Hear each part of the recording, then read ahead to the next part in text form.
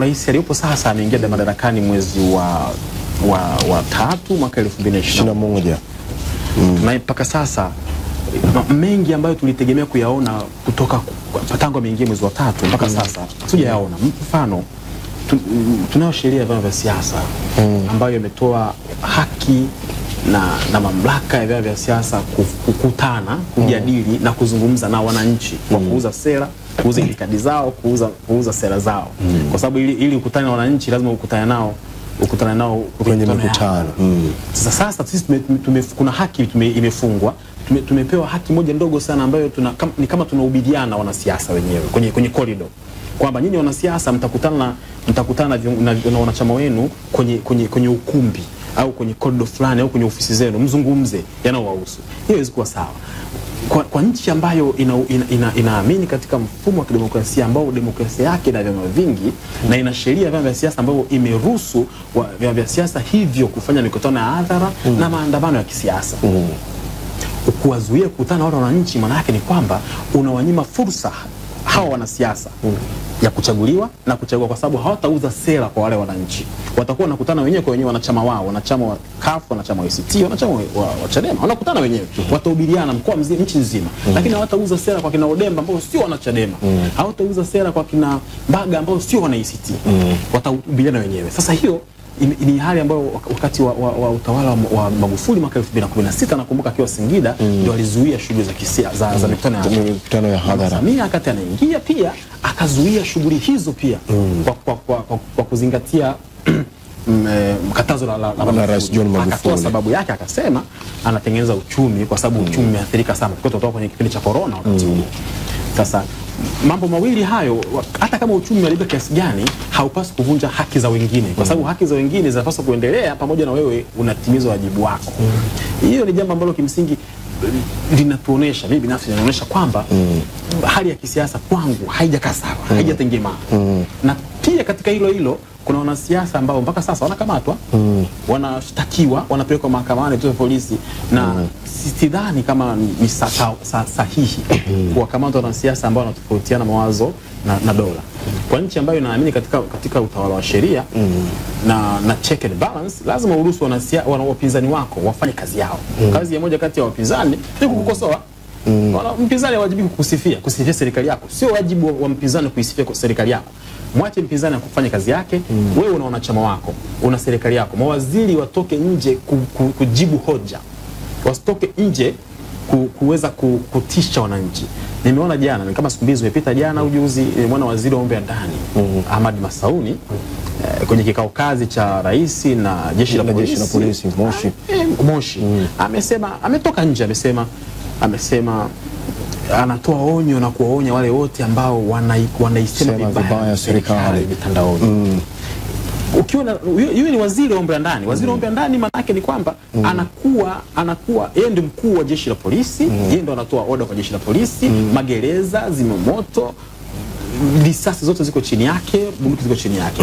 Sasa mm. mkuu wa eh, waziri wa aina ile lazima kwanza alinde, ana wajibu mmoja wa kwanza kulisimamia jeshi la polisi. Jeshi la polisi wajibu wake wa kwanza ni kulinda Raia na mali zao. Mali zao. Mm. Sisi ndo raia. Mm. Serikali tumeichagua sisi, tumeweka madarakani sisi. Mm. Sisi tunawajibika kuikosoa serikali mm. au na, kuisisha na, na Martini, una, kuna dhana hii ya kwamba uh, kwamba ukiwa mpinzani, umesema kazi ya mpinzani ni kuikosoa uh, serikali. Una je, kama serikali inafanya vizuri, mpinzani hawezi kuipongeza pale serikali inapofanya vizuri, ama dhana yenu kama ulivyosema ni kuikosoa tu serikali hata pale serikali inapofanya mazuri? Manake nina imani kabisa hata kama serikali itakuwa inafanya mabaya kiasi gani, lakini yapo mazuri ambayo vile vile serikali inafanya. Matini, sio wajibu wa mpinzani, sio wajibu wake.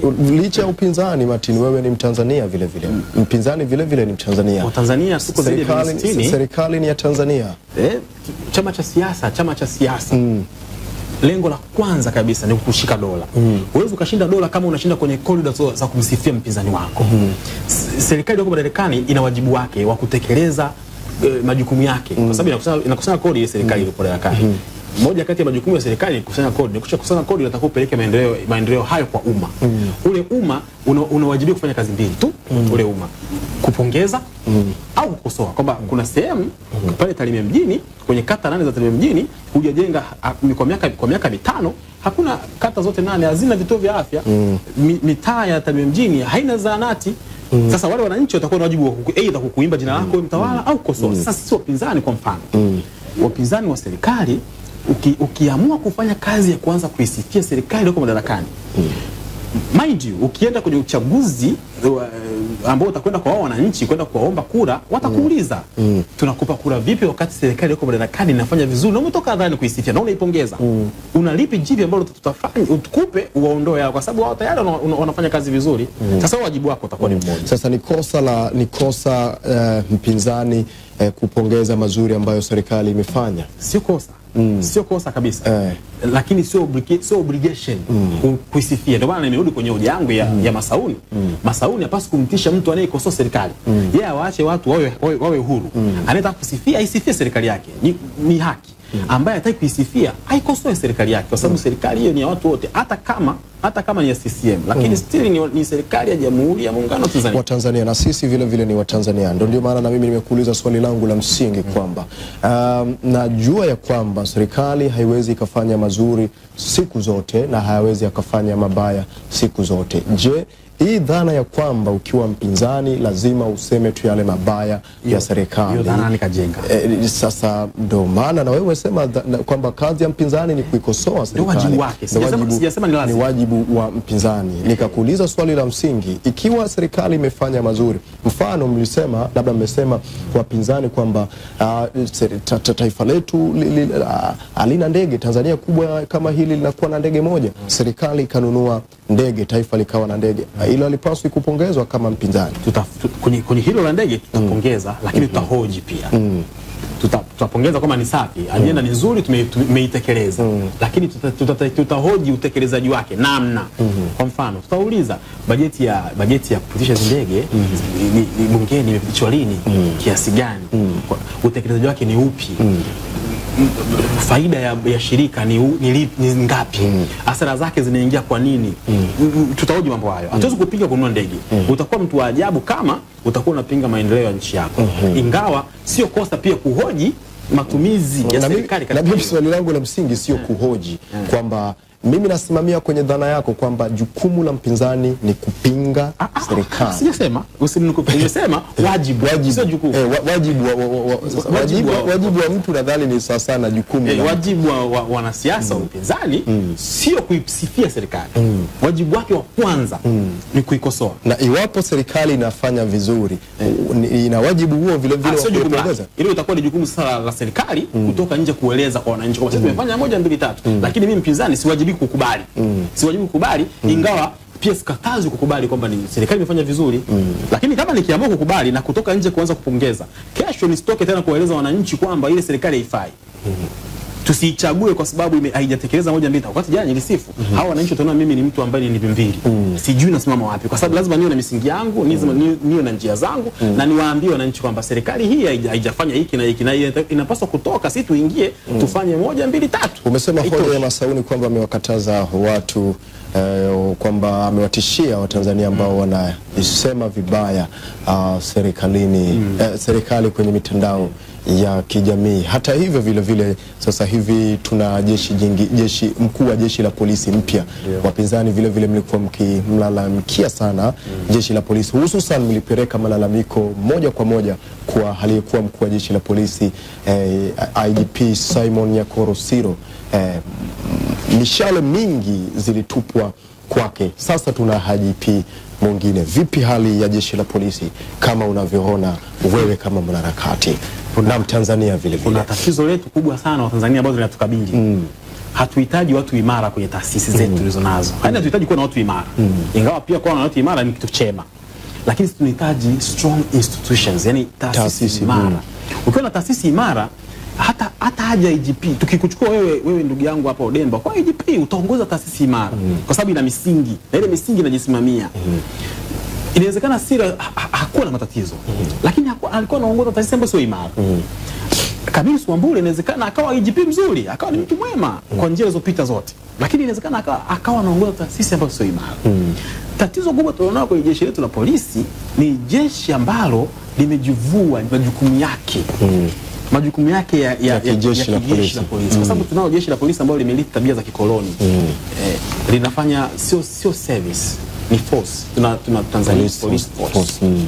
hatuna Tanzania police service ukiwa na ukiwa na jeshi la polisi ambalo linafanya kazi ya service halita halitawajibika kwenda kufanya kazi ya force sasa tunao tuna jeshi la polisi ambalo kauli mbiu yake ni ni ti sheria bila shuruti hiyo mm. hiyo ni kutisha ni kutisha umma Mm. jeshi la polisi linapaswa kutu- kutoa amri hizo linapaswa lifanye kazi ya service Mm. Kabiru Wambura tunaye tutaishi naye lakini sisi tulidhani mimi binafsi na wenzangu na wengine ambao tuna, tuna fikra sawa nilifikiri mm.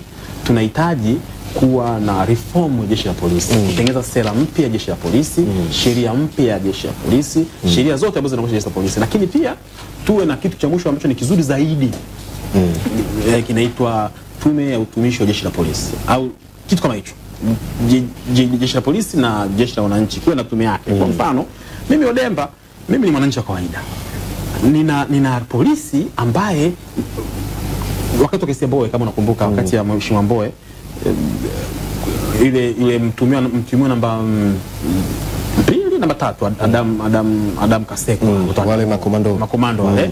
Mmoja alilalamika katika mahakamani mbele ya mahakama akasema e, yeye akati amechukuliwa amepelekwa kituo cha polisi Kawe alivyofika pale pamoja na kuwa ameteswa nyuma kituo cha Tazara alifika pale wakambadilishia jina walimbadilishia jina wakampa jina kutoka kutoka Adam akapewa jina nimesahau mpaka nikumbuke sijui nani si Johnson mm. nafikiri Johnson akapewa jina jipya yani akaondolewa akaondolewa una- unasaba wake akapewa jina jipya maana yake ni kwamba yule mtu hakusajiliwa kwenye kitabu cha detention register hakusajiliwa utaratibu wa jeshi la polisi unapoingia maabusu lazima mm. uorodheshwe mm. particular zako mm. wewe nani unatokea wapi kosa lako ni nini e, na kadhalika hakuorodheshwa sasa unapokuwa na taasisi ya namna hiyo, ndugu yangu Odemba, ni taasisi ambayo inahitaji reform. IGP alipo sasa inawezekana asitimize yote haya mm. lakini kama anakuwa na sheria mpya ambazo zinamwongoza itakuwa ni rahisi sana mm. na sisi tunataka tupate tume ya utumishi hiyo ambayo mimi wananchi nitakuwa na uwezo wa kwenda kulalamika kwenye hiyo tume kama kama kata rufaa fulani, kwa sababu sasa jeshi la polisi unakwenda unakwenda ku- ku- kukata rufaa wapi? Na atathibitisha kwamba kweli wewe ulipigwa na polisi, kituo cha polisi, na atathibitisha hayupo. Lakini uki- ukiwa na, na tume fulani ya utumishi ambayo itaongozwa itaundwa aidha na mahakama, mm -hmm. itaundwa aidha na bunge, unakwenda kulalamika pale kwa kupeleka particular zako, itatusaidia sana na wana, wana jeshi la polisi tawajibika vizuri. Sasa tu- tu- Camillus Wambura anaweza kawa mwema, lakini akamezwa na jeshi la polisi ambalo liko kwenye mfumo wa kikoloni. Hatakuwa hajafanya hajafanya chochote kile. Mm. Tunahitaji reform ya jeshi la polisi. bado tulikuwa tukiongelea hili swala la uh, waziri wa mambo ya ndani Masauni. Masauni ambaye anasema kwamba hataki kuona watu waki, wakisema vibaya um, serikali eh, mitandaoni. Hata hivyo uh, Rais wa Jamhuri ya Muungano wa Tanzania Rais Samia Suluhu Hassan eh, alisema kwamba yeye anaruhusu kukosolewa lakini akosolewe kwa, kwa, kwa nidhamu. Sasa na mimi swali langu la msingi eh, bwana Martin, ah, katika ukosoaji, wewe unafikiri kwamba ni ukosoaji upi ulio mzuri hasa mnapokuwa mnataka kumkosoa kiongozi mkuu wa nchi? rais wa nchi kama walivyo wa viongozi wengine mm. ni mtumishi wa umma mm. ni mtumishi wa umma mm. eh, rais wa nchi kwa, kwa nchi yetu ya Tanzania ta, katiba yetu inasema inaeleza wazi katiba yetu mm. ni, ni jamhuri ya muungano wa Tanzania, Tanzania mm. Jamhuri yetu ni ya kidemokrasia yenye mfumo ya vyama vingi vya kisiasa mm. Maanake rais aliyoko madarakani kwenye nchi yetu wa jamhuri anatokana na kura za wananchi mm. -hmm Kwa namna yote inaonekana kama default kwa katiba, lakini lazima wananchi, kwa sababu katiba imetengenezwa na wananchi kwa, kwa, kwa, kwa makubaliano, ni consensus. Sasa ukosoaji wa, wa, wa, wa kiongozi yoyote yoyote, asiwe rais, asiwe waziri mkuu, asiwe katibu mkuu, yo- yoyote hilo neno star limechopekwa li- li- neno ambalo halina, halina, halina mantiki mm. ingawa nchi yetu ina sheria zake mm. wewe Demba ukiwa umem- umemkosoa kiongozi yoyote awe waziri awe rais awe mbunge kwa namna yoyote ambayo ambayo ma, e, huyo kiongozi atadhani kwamba imemvunjia haki zake heshima mm. yake hadhi yake A- anapaswa kulalamika mm. e, anapaswa kulalamika mahakamani mm. anapaswa kulalamika jeshi la polisi li, li, kwa jeshi la polisi afungue kesi mahakamani kesi ya jinai kwamba mimi siku- mimi sijapenda Odeba alinitukana alinitusi lakini mahakama itaamua sasa. Kwa hiyo Odemba alitukanwa, Odeba alitukana namna gani? Lakini sio jeshi, sio mtu wa um, serikali ya jamhuri, naita jamhuri iamue tu kwamba rais haja- hajakosolewa kwa star. Star ni nini? Star imeelezwa kwenye katiba gani? Kwenye sheria gani? Kwa sababu tunazo sheria ambazo zinaongoza zinaongoza jinai, sheria mbalimbali hazielezi fulani akosolewa kwa namna fulani, mm. hazijaweka mipaka ya ukosoaji. Yani huu ni ukosoaji wa aina gani? Ukosoaji mm. ni ukosoaji. mm. Ukosoaji hauna mipaka isipokuwa ambaye anadhani hajatendewa haja- hai- haki kwenye ukosoaji mm. ana haki ya kulalamika popote, mm. lakini usizibe usizibe haki za watu za kukosoa. Mimi siwezi kujua kwamba natakiwa nimkosoe Samia kwa, kwa kiwango gani, siwezi kujua. Wakisema kwamba kosolewe kwa star. Star ni neno gani? Star ni nipi? Star ni kitu gani? Yani uh, tunao misamiati mingi kwenye nchi yetu.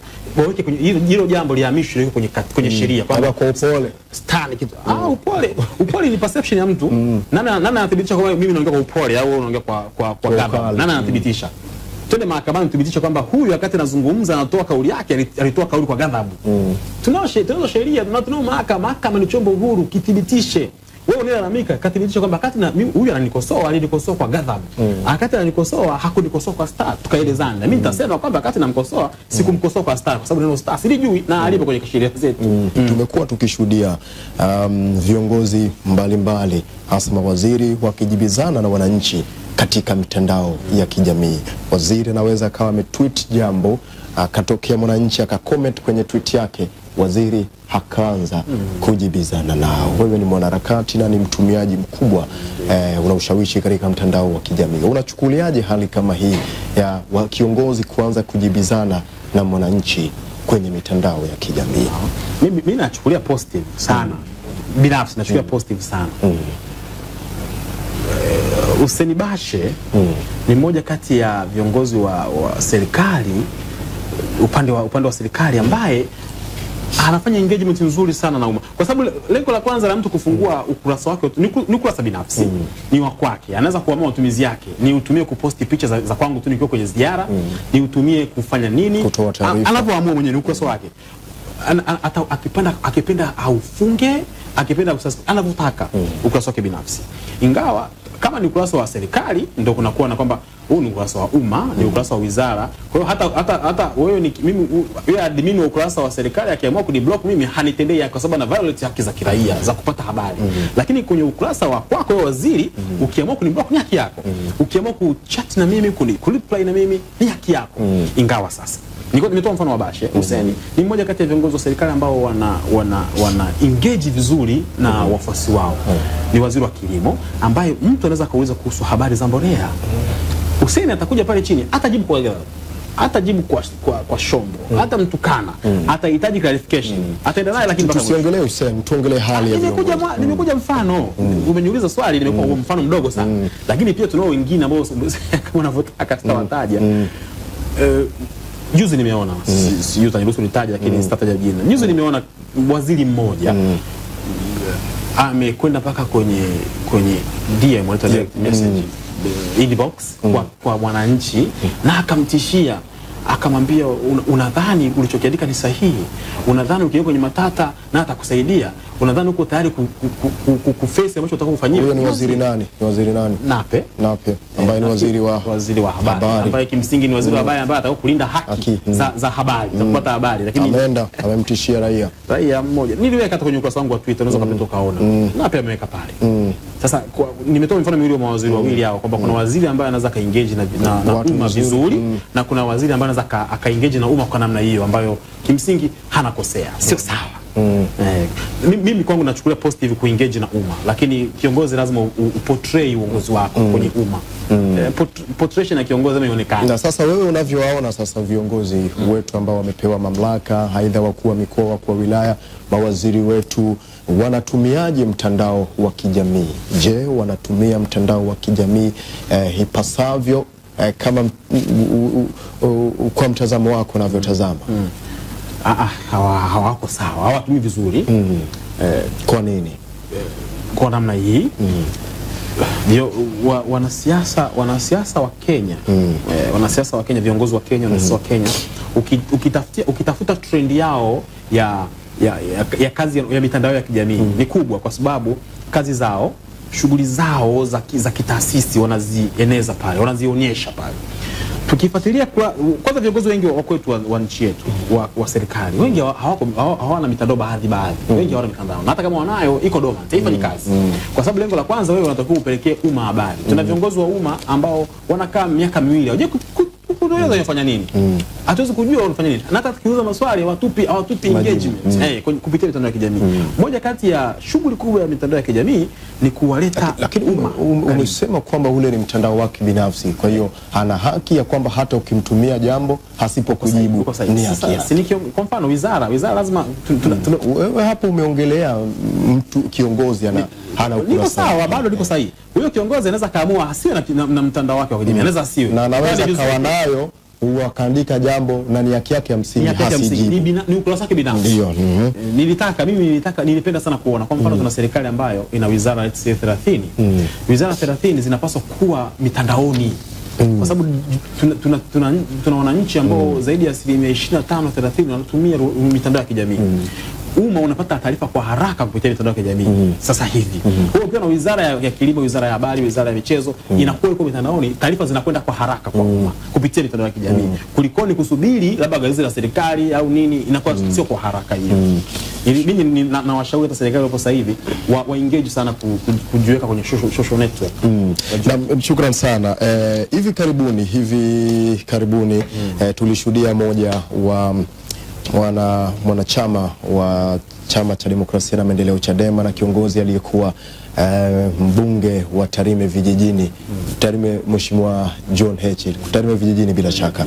Eh, Mheshimiwa John Heche akizungumza eh, katika moja ya kipindi katika kituo chetu hapa cha Sahara akisema kwamba kuna wabunge vilaza. Ile kauli nimeona uh, baadhi ya watu wengi wamereact sana wakisema kwamba uh, si eh, kauli nzuri. Wewe hata tulipoanza kuzungumza hapa Bwana Martin ulianza kusema hiyo namna, namna bora ya kuweza kujenga taifa letu mm. Ni sahihi ke, kauli hii ya Mheshimiwa Heche kwamba kuna wabunge wengi vilaza. Wabunge wale ni viongozi wa wananchi, lakini vile vile ni wabunge ambao wapo ndani ya bunge la jamhuri, bunge letu la Jamhuri ya Muungano wa Tanzania.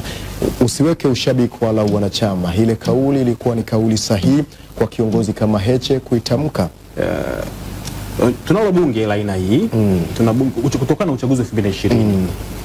uh, ule uchaguzi ulikuwa uchaguzi wa ajabu sana mm.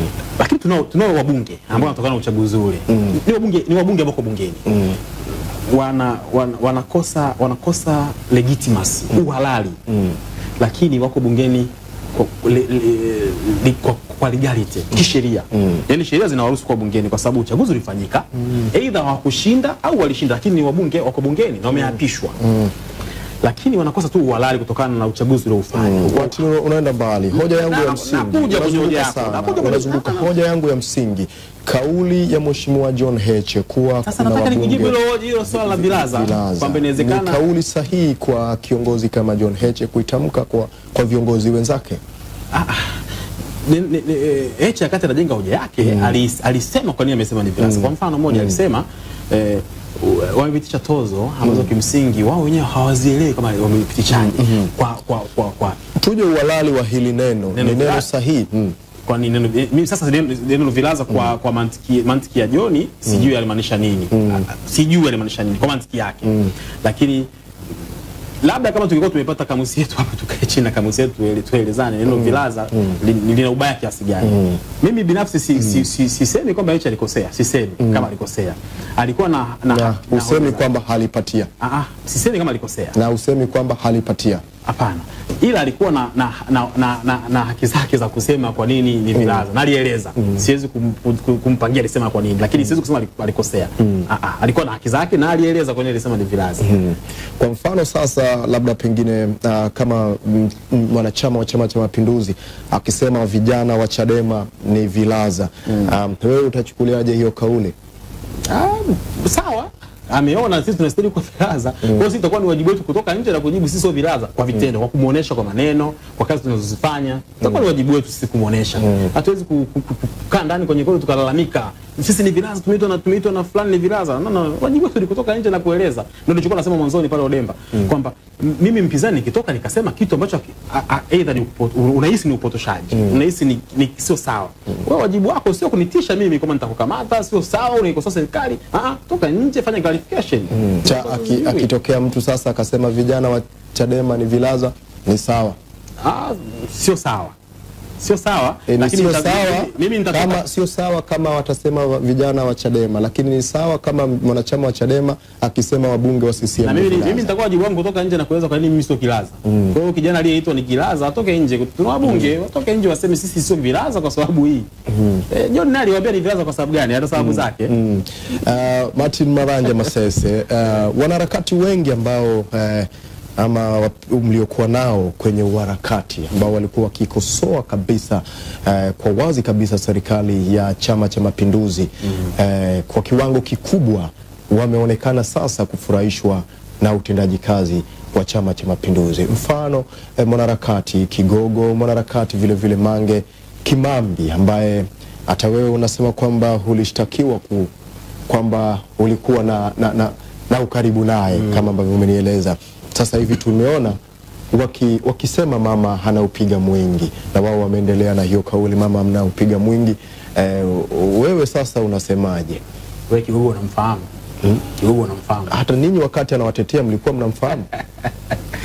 Sasa unajua tuna tuna- tuna- taifa letu lina vitu vya ajabu. mm. Wakati wa Mange 2016, 17, 18 kumi na tisa. mpaka 19. Wakati wa huyu Kigogo nayesema Kigogo mm. pale Twitter ni 2000 na kumi na hiyo kumi na- hiyo hiyo mpaka 2020 na 20 21 sio? mm.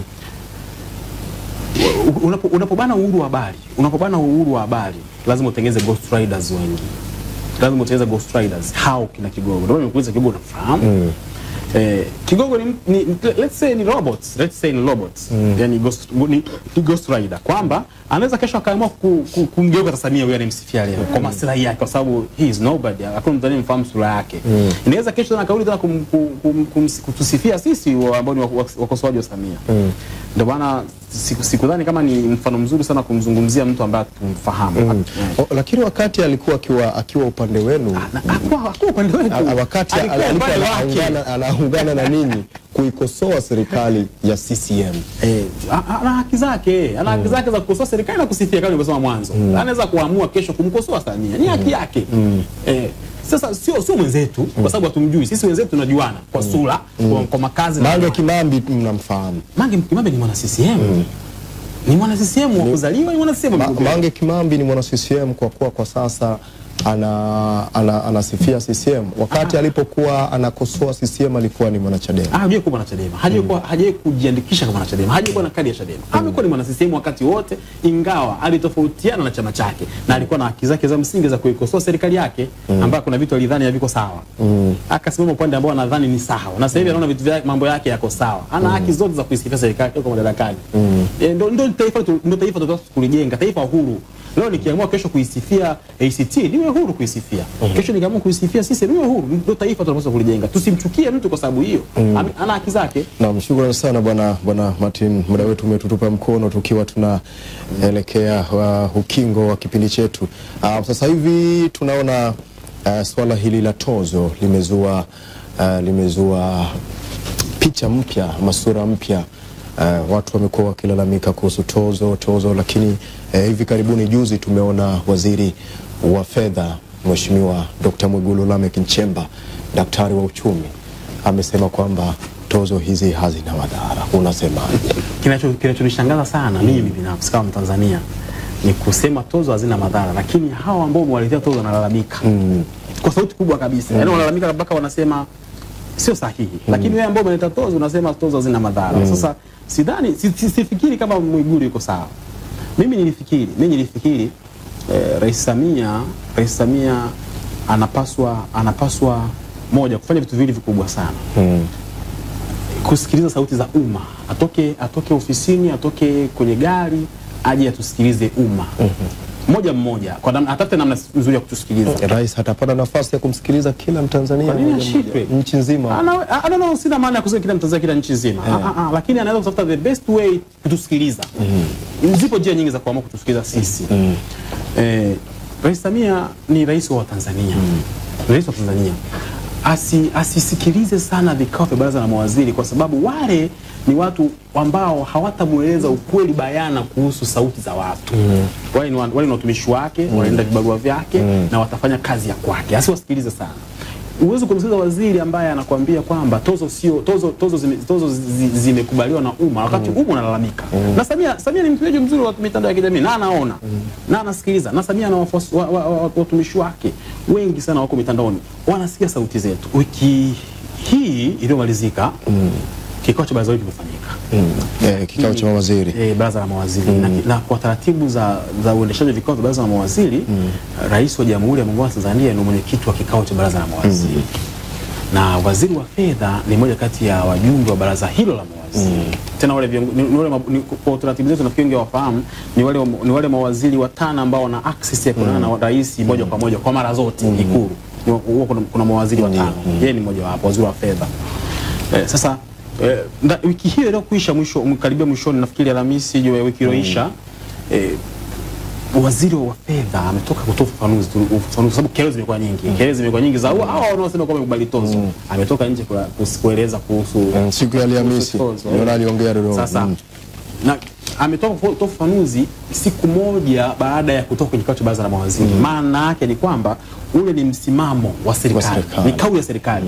Kikao cha baraza la mawaziri kimalizika siku moja, Alafu, siku iliyofuata waziri wa fedha anatoka nje. Maana yake ni msimamo wa serikali. Serikali inasema kwamba e, wanahitaji tozo hizo ingawa zina maumivu. Na waziri anakiri mm, mm. kwamba tozo zina maumivu, lakini lazima wazichukue anakiri kwamba tozo zina maumivu makubwa sana lakini lazima wazichukue mm. na wanasema hizo tozo wanazihitaji kwenda kujenga madarasa mm. mimi, mimi, mimi kwa sababu ninafahamu serikali ilikopa ilikopa mm, mwaka jana mwaka 2021 mm. kuelekea 2022 Januari serikali ilikopa IMF mkopo wa, wa trilioni trilioni 2.3 mm. kama sijasahau mm. ule mkopo ulikuwa ni wa IMF Yeah. IMF waka, waka, wakaelekeza ile fedha ikafanya ikafanya vitu kadhaa, mojawapo ika- ikaizi maumivu ya uchumi mm. kutokana na corona. Serikali yetu ilipopokea ule mkopo Ikapeleka kwenye madarasa. kwenye madarasa. Hiyo juzi wakati Samia wakati waziri wa fedha anazungumza anasema mm. pia fedha hizo zitasaidia. Nimemsikia Tabashungwa waziri wa TAMISEMI naye amesisitiza kwamba anamuunga mkono Mwigulu kwa sababu eh, serikali inakwenda kujenga mada, ma, madarasa vyuo vya madarasa 3900 3900 au ina- elfu- sija- kama sikumbuki vizuri. Sasa kama tunaweza kuwa na serikali ambayo inachukua fedha za mikopo ambazo zielekezwa ziingizwe kwenye uchumi lakini inajenga madarasa serikali hiyo hiyo inakuja tena inaongeza kodi, inachukua tena kodi yetu tozo, wanaita tozo, inaingiza tena kwenye kujenga madarasa. Sasa hivi hadi kwa wapangaji tuzo kuwa sawa. Mpangaji kwa, kwa, kwa, kuna, kuna, kuna kodi analipa mpangaji hapo mpaka unasikitika. Mpangaji analipa kodi kodi mpangaji tu mmoja kwa nyumba moja analipa sio kodi mbalimbali, analipa sio chini ya kodi tisa mbalimbali. Mkodi- Huyu mpangaji atalipa kodi ya pango la kwenye nyumba, e kodi ile let's say kwa mwaka milioni mbili. Huyo mpangaji atalipa uh, atalipa kodi ya zuio mm. E, ndio asilimia kumi nimeona hapo. Huyu mpangaji atalipa kodi ya maji kupitia kupitia EURA. Huyu mpangaji atalipa Umeme. kodi ya umeme mm. E, bili yake ya umeme. Huyu mpangaji kwenye bili ya umeme humo kuna kuna VAT asilimia kumi na nane kuna kodi ya pango, kodi ya pango ile La- lakini kwenye hili wa- wa- wazi- waziri wa fedha alisema kwamba hili halimuhusu mpangaji ili, ili, ili, ili la ili la kodi, kodi la pango hili Hiyo- hiyo zuio. Eh, kwa maana ya kwamba atakayekuwa analipa atakayekuwa analipa ni mwenye nyumba. Sasa ingawa itakuwa ni kwako, Odemba, nimepanga nimepanga kwako Eh. kwa mwaka nalipa kodi milioni moja nukta nane kwa mwaka. Nalipa milioni nukta nane. Sasa wewe wewe mwenye nyumba ile asilimia kumi nitoa wapi? Lazima utachofanya ni kuniongezea milioni mbili nilipe kwa mwaka ili uchukue uniongezee kodi Eh, mimi nilipa kodi. Mm. Upeleke kulipa kodi ya ya, ya, ya TRA kwa sababu mm. utakubali mm. wewe mwenye nyumba ulipe kodi kupitia mfuko wako. Mimi atakayeathirika yule anaishi kwenye nyumba yako, ataongezewa kodi akalipe kodi ya TRA. ata- ataamua taama utaishi wapi? mm. Sasa, sasa njia hipi ni sahihi sasa bwana bwana Martin mm.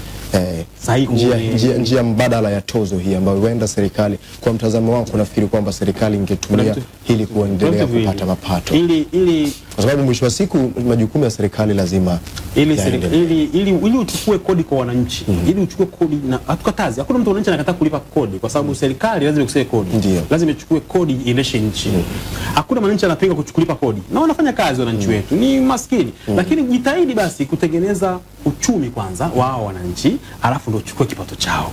Uwezo ukaenda ukakata ukakata ukakata ukachukua kodi mbili au tatu kwenye chanzo kimoja cha mapato hiyo tu- wazungu wataalamu wanaita double taxation. Uwezi uka, uka, uka, uka, ukalipa uka, uka, ukachukua kodi yangu. Mimi, na, mimi kwa mfano nina shilingi elfu arobaini kwenye simu yangu. Mm. nina wakati elfu mbili naitunza, naitunza benki pale kwenye benki yangu moja ile benki ita, wakati, wakati nahifadhi kila mwezi na, wanakuwa wanachukua asilimia kadhaa ya pesa yangu nayohifadhi pale. Nikija kutoa ile fedha nita- nitakatwa kodi pale. Hizo mm. ni kodi mbili. Lakini pia ile kodi niki, wakati naitoa nitakwenda kuiweka kwenye, kwenye miamala ya kitroniki, miamala, miamala ya simu namtumia mama yangu kijijini kwetu kule Utalime. Nikimtumia mama mimi anayetuma mama yangu akaenda kutoa kule hata atakatwa tena. Sasa hiyo pesa moja inakatwa zaidi, ya- zaidi ya kodi tatu nne tano mpaka sita. Sasa hatuwezi kuwa na, hatuwezi kuwa na, na, na, na, na, na kipato cha kutosha kiasi hicho cha serikali kukata kodi nne kwenye kipato kimoja. Ushauri wangu mkubwa ni kwamba serikali iame sasa kutoka kwenye mfuko ya wananchi itoke mm -hmm. kwenye mfuko wa wananchi ifikiri upya kuanza kutafuta vyanzo vya mapato vingine vikubwa kwenye, mm. kwenye rasilimali tulizo nazo mm. tuna, tuna, tuna, tuna rasilimali nyingi kwa mfano mm. tuna, tuna, sisi tuna wawekezaji wakubwa sana kwenye migodi tuna wawekezaji wakubwa sana kwenye tuna, ardhi kubwa sana kwenye, kwenye tuna ardhi kubwa sana ya, ya maji mm. pwani tuna ardhi kubwa sana ya, ya, ya ziwa tuna, tuna mbuga za wanyama nyingi sana tuna mito mikubwa sana. Tuame sasa kutoka kwenye mifuko ya Tanzania kwanza tukachukua kodi kubwa sana kwenye rasilimali tulizo nazo. Alafu tukishaimarisha uchumi wetu kipato kikawa kikubwa sana. Wananchi wakuwa na mzunguko mzuri wa kifedha sasa tuanze, tuanze kulipa kodi yetu moja moja kwa wananchi, na kwa rahisi sana. Huyu mwananchi atasikia atasikia madhara, lakini mwananchi wewe mwenyewe unakiri, wewe, wewe rais wa nchi unatoka nje unasema kwamba e, uchumi hujaimarika, uchumi haribika, na ndio maana hata wanasiasa umewazuia wasifanye mikutano ya hadhara ukisema kwamba Unajenga uchumi. Eh. Sasa kama uchumi haujakaa sawa, au wananchi ambao unachukua kipato chao mara unakata kodi zao mbili mbili kwenye kipato kimoja, uchumi wao umetoka wapi? Wakati wako kwenye nchi hiyo hiyo ambayo uchumi wake haujakaa sawa, mm. au watendei haki ya wananchi. Mm. Kwa hiyo haya maumivu tunayosikia ni kwa sababu wananchi pia hawaoni kipato chao kama kini kikubwa, hakizunguki. Matumizi yamekuwa makubwa sana na mfumuko wa bei umekuwa mkubwa sana. Gharama za maisha zimepanda na bado serikali inachukua kile kipato kidogo ambacho wanacho. Ndio maana maumivu yamekuwa makubwa sana. Sio kwamba serikali ilikuwa ichukue kodi. Hizi kodi nyingi nyingi zilikuwepo nyakati zilizopita lakini kwa, kama anavyo- anavyosema rais kwamba uchumi haujakaa vizuri, haujaimarika. Kwa hiyo hata kama uchumi hujaimarika wa serikali wa nchi hata wananchi uchumi wao ni mbaya. Shukrani sana, shukrani sana Martin, nakushukuru sana mm. kwa kuzungumza nasi. Muda wetu umetutupa mkono kwa dakika moja. Uh, tume hivi karibuni tuliona uh, wenzetu majirani zetu kitaifa la Kenya wakiingia katika mchakato wa kufanya uchaguzi, wakafanya uchaguzi uh, matokeo yakatangazwa, ambapo walimtangaza rais mteule uh, William Samoei Ruto akifuatiwa na mpinzani wake Raila Amolo Odinga eh, baba wanamuita hivyo Jacom Tinga. Tinga. Agwambo. Mzee ana majina mengi sana. Eh, sasa sasa hivi tunaona swala lao lile lipo mahakamani mara baada ya Raila kukataa matokeo yale. Eh, sasa tusiongelee mambo ya mahakama tuje kwenye hoja ya msingi kwamba uchaguzi ule wa Kenya eh, kama ambavyo ulivyoitazama ina taswira gani ambayo sisi wa Tanzania tunaweza tukaiga kipi cha kipi cha msingi ambacho tume ya taifa la Tanzania mm. eh, la uchaguzi Tanzania linaweza likaiga kwa wenzetu hao, kwa sababu hawa ndio majirani zetu yeah. na wanasema kitu kama kuna unaweza ukaangalia kwa jirani yako sio mbaya.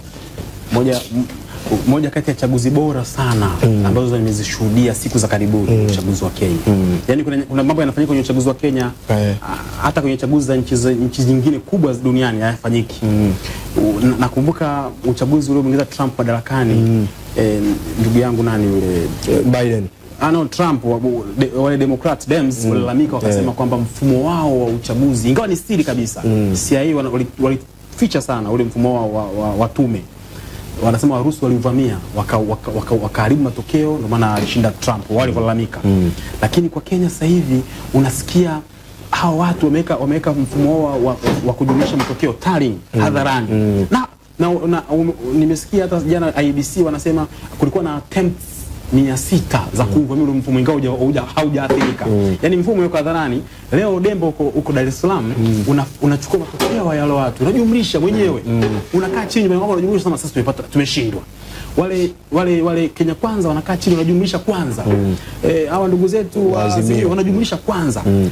Sisi mwaka 2015 hapa Tanzania uchaguzi wa 2015 kuna vijana wetu walikamatwa wa- walikuwa wanafanya taring ya matokeo vyombo vyetu vikakamatwa. Wale watu walikuwa kumi, walikuwa watu tisa, wakawekwa maabusu ya kituo cha polisi kati, wakapewa na kesi ya, ku, ya kuvamia mfumo wa uchaguzi na kuharibu, na walipewa kesi ya kuharibu mfumo wa uchaguzi. uchaguzi. Sasa vitu kama hivyo ndivyo sisi kama, kama, kama nchi ambayo ni majirani zetu wale tuna sababu za msingi za kuwaga kwamba uchaguzi tukio linalohusu wananchi mm. na ni tukio la wazi tunaweza tukaliweka hadharani, wananchi wakaondoa hofu kama kama uchagu, tukio la sensa nimeona juzi NBS, NBS mm. wameliweka hadharani kwamba takwimu. takwimu zinakuwa hadharani zinaingia hadharani. Kama tunaweza kufanya takwimu za sensa zikawa hadharani, Ifanyike kwa uchaguzi. kufanya takwimu za mm. matokeo ya uchaguzi yakawa hadharani? mm. Sheria zetu za uchaguzi zina zina, zina, zinaitaka tume uchaguzi baada baada ya uchaguzi miezi miwili au mwezi mmoja baada ya uchaguzi mkuu fomu namba 24 namba 24A namba 24B ambazo ni, ni fomu za, za matokeo ya urais na matokeo ya ubunge Bunge. ziwekwe kwenye tovuti ya, Ya ya, tume. ya tume ya uchaguzi na pia ziwekwe kwenye zitangazwe kwenye gazeti la serikali. Ni, ni, ni, ni, ni, ni ma- matakwa ya kisheria. Mm. lakini mpaka sasa ni mwaka 2022 miaka miwili baadaye baada ya uchaguzi hayajafanyika yote. Mimi nakushukuru sana kwa kuja ndugu yangu, kila la heri na kutakia wanaharakati mwema na Mwenyezi Mungu hakupe afya njema. alhamdulillah nashukuru sana Naam, mtazamaji, mpaka hapa tumefikia tamati ya kipindi hiki cha Mila za Siasa, nikukumbusha kwamba tulikuwa tunazungumza na Martin Maranja Masese. Huyu ni mwanaharakati lakini vile vile ni afisa habari wa